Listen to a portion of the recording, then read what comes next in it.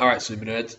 So today we're going to look at DNA analysis, and if some of this seems though it's it's more complicated than we're talking about, this one lesson at a university level would essentially be most of a course, if not a whole course, on how to do this one technique, and it's super interesting, and you're going to enjoy it, I hope. So basically, what you should be able to do is explain why we can use DNA to identify an individual. Um, also, relationships between people, which is where we will get to this guy in class. So here's a little primer on what genes and DNA are. Genes and DNA are. Uh, we'll do this very quickly, and this is particularly important for the non-bio people. So DNA is found in the nucleus of the cell, um, base sequence, so the, the, the pairing, you know, the A's and the T's and the G's and C's, that's the genetic code. And it is the exons here, okay? So the exons there, that's the genetic code. And that's all very cool. The biologists love that crap. We don't. That's not what we're into. We are into this stuff here, the introns. Uh, but we'll get to that second. So genetic information, it's you know determines how the cell works. It's essentially the set of instructions for you as an organism. Um, these control the primary structure of proteins produced, and that is what does all the stuff in the organism. That's proteins. That's where they come from. That's their job. Their job is everything. Um, and the, the genetic code, it's organized or it's determined by the sequence of base pairs. Okay, cool. So, no, that's super, super interesting. We all should know most of that. Um, this is what a gene looks like. Okay, um, you have it gets turned into RNA. Bit beyond us, don't stress. It goes exon, exon, exon. The introns are taken out, and then you have this thing called messenger RNA, which is then translated, and it makes your protein. Okay, so there's a couple of steps. It doesn't just go DNA, protein. Um, again, we're going to focus on these guys. They're the ones for us. So basically, you have 46 chromosomes, 23 from mum, 23 from dad. We are all, you know, very closely related as a as an organism. We are 99.99 actually we'll go with 1 99.9% identical and there is this 0.1% difference that accounts for all of the variation. Um, most of the difference occurs in what we call junk DNA or non-coding DNA. In other words, the introns. This, as forensic chemists, that's what we care about. We're not worried about the bits which make give you blue eyes and brown hair and whatever. We're interested in the introns. Now, the closer you are, the more identical your introns will be. For example, your sister, your dad, your mum, your brothers, whatever. Those people will all have roughly 50% the same introns as you. Okay? Roughly 50% the same. People are, that are further back, further apart, the introns get fewer and fewer and fewer. The only exception is the identical twins, which have exactly the same DNA as each other. Now, just one more thing with those introns, they are highly variable. Now, genes don't change that much because if they do, you die. So genes tend to stay fairly stable. But the intron part of those genes, because they get taken out, and they're there for they're there for regulation um, mostly, because they get taken out, they can be as varied as they want, and you don't die, and that's pretty cool. Um, all right, so introns tend to be these things called short tandem repeats. Know that word. So STRs, they are at specific loci. Loci is genetic speak for location. Um, so at specific loci, the intron, the introns, um, there's it's actually two to six. Um, so you'll, you'll have two to six base pairs, which are just repeated over and over and over. For example, here is some victim's DNA, and some DNA from a crime scene, and this is our suspect. Of GT, these, this victim has 24 repeats of GT, GT, GT, GT, GT. 16 repeats, and this section would go something like ATGG, ATGG, ATGG, and another 13 more times.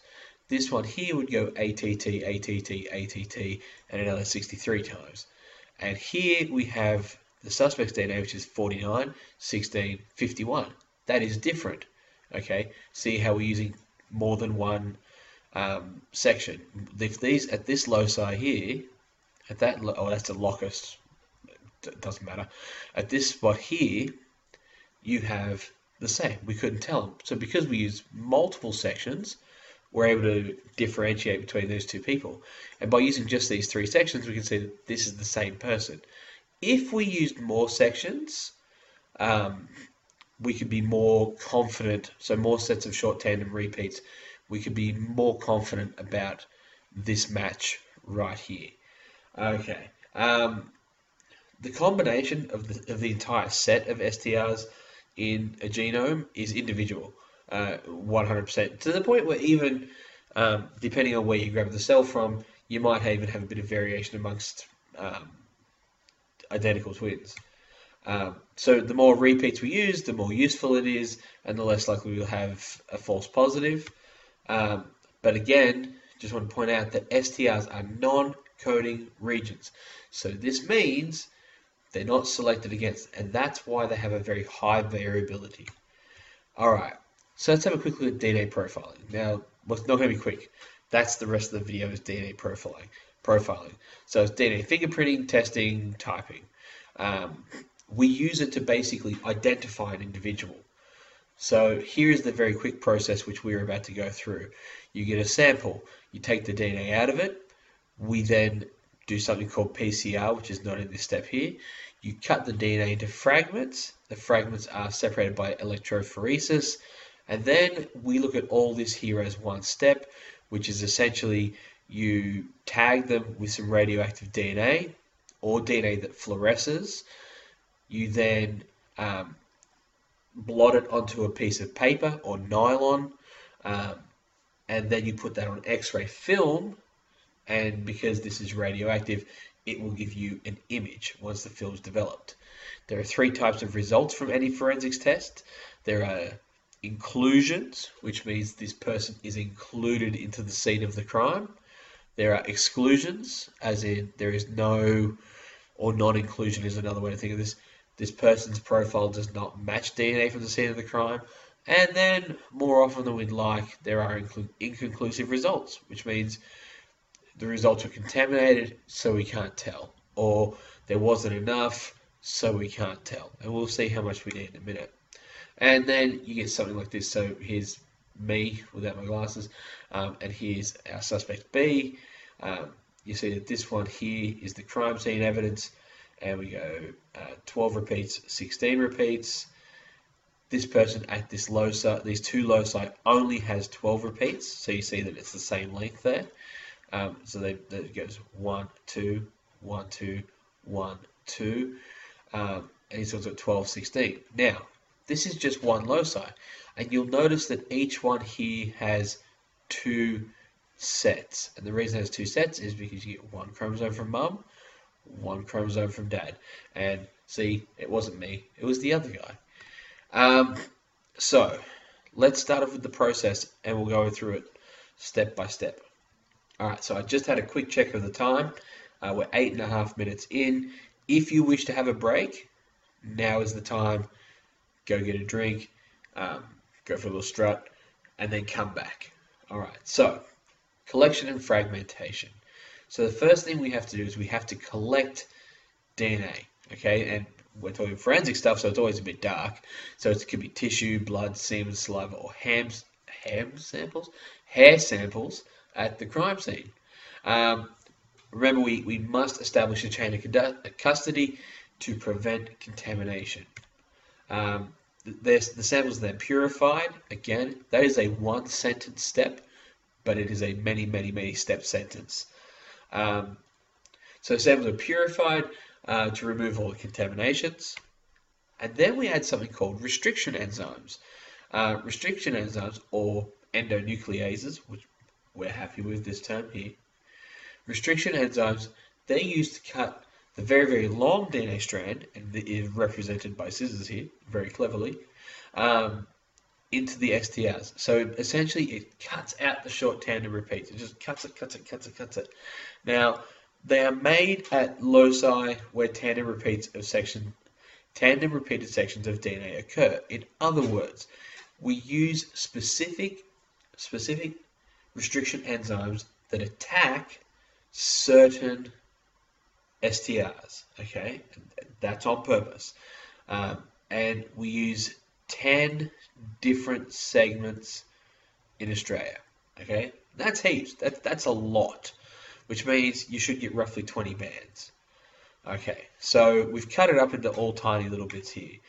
Generally, with forensics, we'll have to do something called DNA amplification, and this is what was the real game changer when we talked about someone such as um, uh, Gary Ridgway.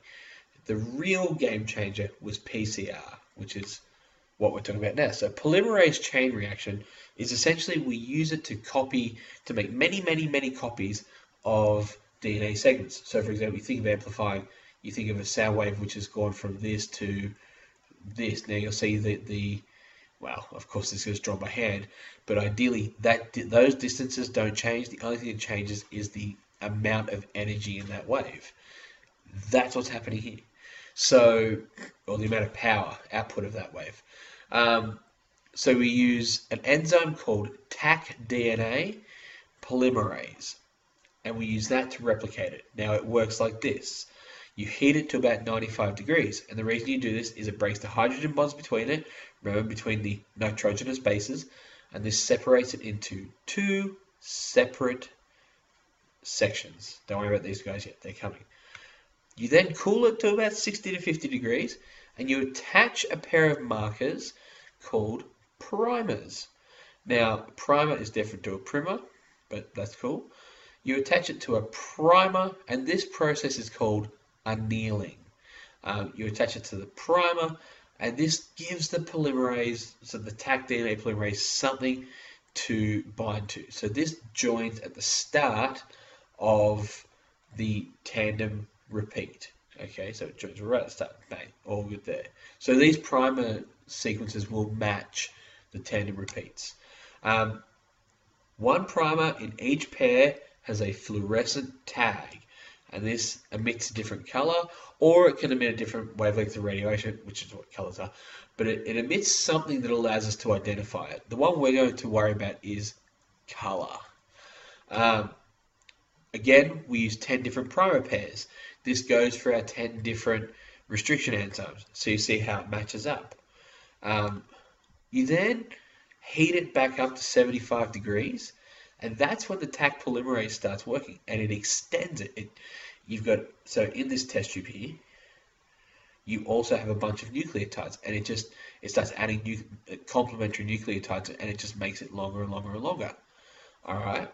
Once it's done, it's duplicated the strand of DNA. So you've got an exact copy of this section, an exact copy of that section, which both are the same as this. And that's pretty rad. That's PCR. It is that simple. However, however, so each time you do it, you double your sample. Um,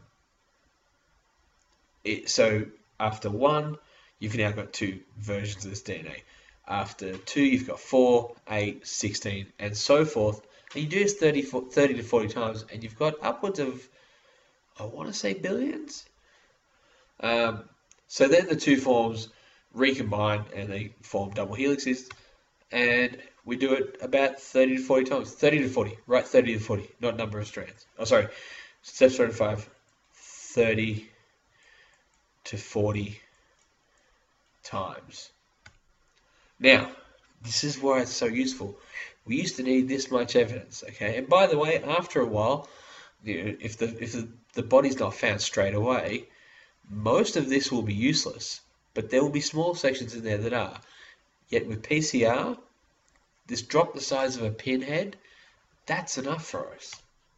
Um, now, let's have a quick look at gel electrophoresis.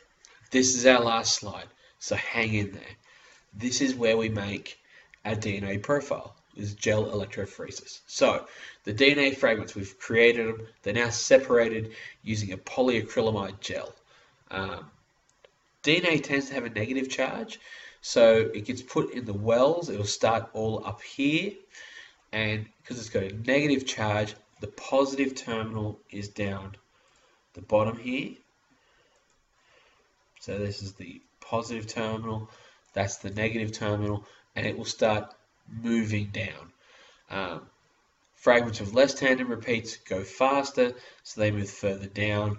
Um, these ones that I said are called ladders. These are known lengths. Okay, so they are known lengths, which means you know that that one's one size, this one's one size, and all you know the distance, you know the sizes in base pairs of all of these, and you can identify it that way.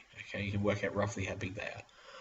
Now, again, less ones move further down. Um, so essentially, we this is our standard one here, and we know the distance, so we can say if this one here is, we'll say 15 base pairs long, 16 base pairs long, actually it's probably close to 160 base pairs long. Um, anything along there is about 160 base pairs long. You've also got these controls, and the controls are there as a backup for the ladders. Remember, it is really, really important to us that we get more than an extremely conclusive result. We really don't want false positives. So this gives us our DNA profile, and that's about as complex as it is. Um, we essentially we can differentiate it using UV light. So you've got the colors on there. You then hit it with UV light, and it becomes visible. Um, the fluorescent tags emit their color, and a detector identifies each band by the color it emits. So you you do this with um, computers and it gets you a colored image or this one here is done slightly different. This one here, so you get different colored images. This one here is done by, these are the ones where the bands are radioactive and a film, an x-ray film is put over top of it and then we get we develop the film and we get an image like this. So each locus on the DNA, it'll produce two bands because there are two fragments, one from the chromosome of each parent. So in this case here, we're looking at one locus in particular. So here, uh, we've got it here and right down the bottom, okay? Um, and that's the victim. The sperm, which was taken from the evidence, okay? So you'll see that the uh, female cell here matches the victim. Perfect not a drama. Um, this one here matches suspect 1. This one here matches suspect 1. Suspect 2 matches neither. So, suspect 1 is a, an inclusion. Suspect 2 is an exclusion. Now, you can also use it to test paternity. Um, for example, because we can't really, that one's not super clear. If this is a paternity case, um, you would have, so we'll say that this one here is mum, or, or dad, this one here is mum. Um, you would have, and we'll pretend this one here is the child, ignore that one altogether. What you end up with is one there that matches mum, and one that matches dad. And that's pretty much where we're at. Alright, that was a lot. Hang in there. See you in class. We'll get back to the creepy real soon.